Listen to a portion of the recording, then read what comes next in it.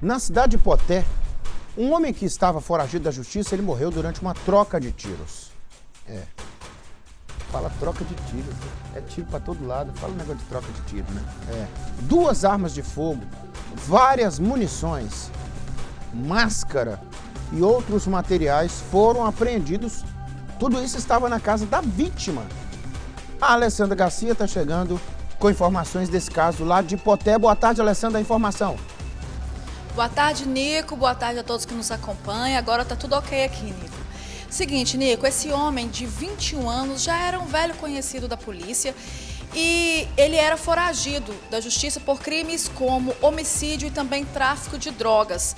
O serviço de inteligência da Polícia Militar localizou o endereço em que ele estava na rua Cesário Teixeira, no bairro Floresta, em Poté.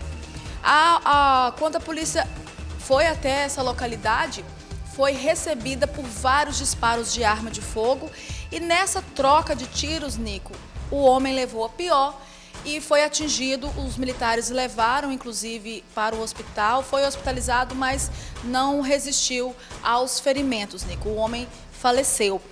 E mais um fato, Nico, que chama muita atenção também nessa ocorrência foram os materiais, né? Essa, esses equipamentos encontrados com ele.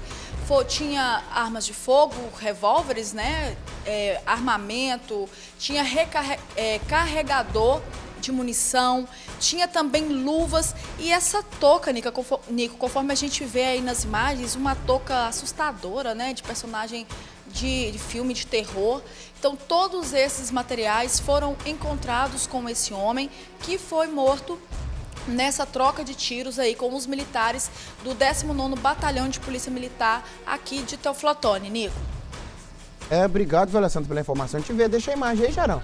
Quantidade de coisa, né, que, que foi tirado de circulação, olha lá. Máscara, negócio de luva, tanto de munição, né, rapaz? Droga. E parece que eu vi um documento também ali. É, uma, parece uma cédula né, de identidade. Olha. Aí é uma cédula de identidade. Pô, até, né, gente?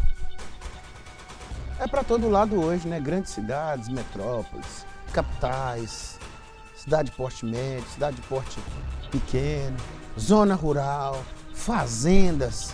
A violência chegou, olha lá a máscara. Discreto.